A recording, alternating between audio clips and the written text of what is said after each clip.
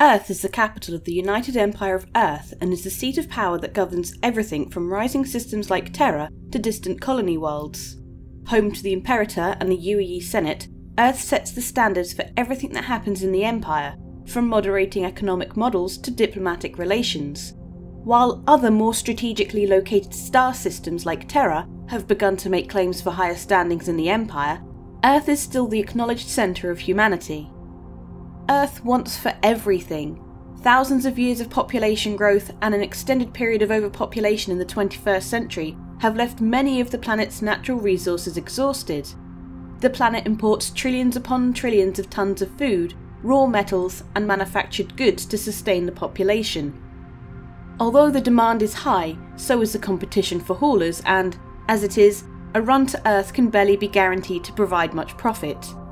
The odds of cargo making it through to the planet safely are relatively high thanks to Sol's low crime rate.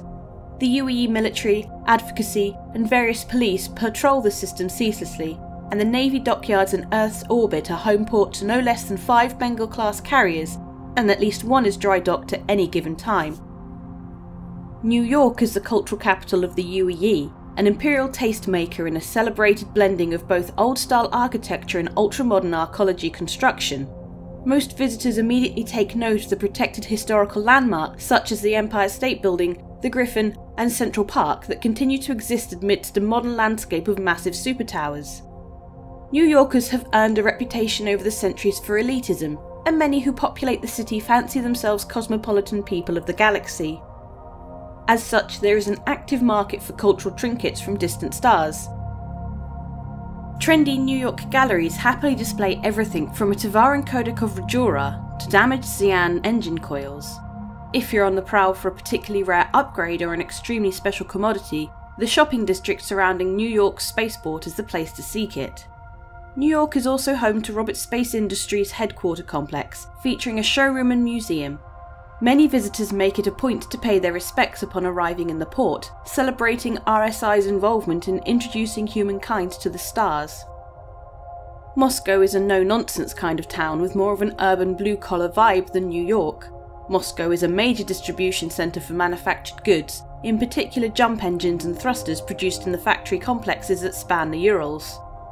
Goods are moved into the city for dispersal to the stars through a system of high speed transport trains down on their luck spaces can always find hard work in the Moscow dockyards, which account for the vast majority of Earth's export shipping.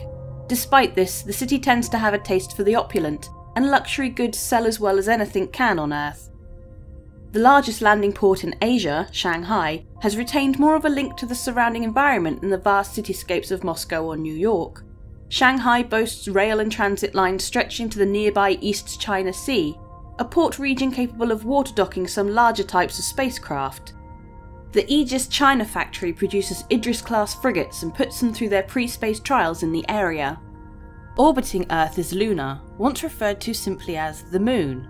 It is a large natural satellite that is tidally locked with Earth, and in 1969 it was the first celestial object humanity ever visited. We have a ship giveaway. Just comment on any of my videos to be in for a chance of winning a ship. I shield for NordVPN. They protect your data and identity while also giving you enhanced accessibility and security on the internet. Links below for discounts. And if you'd like to further support the channel, consider clicking the join button below my video or becoming a Patreon.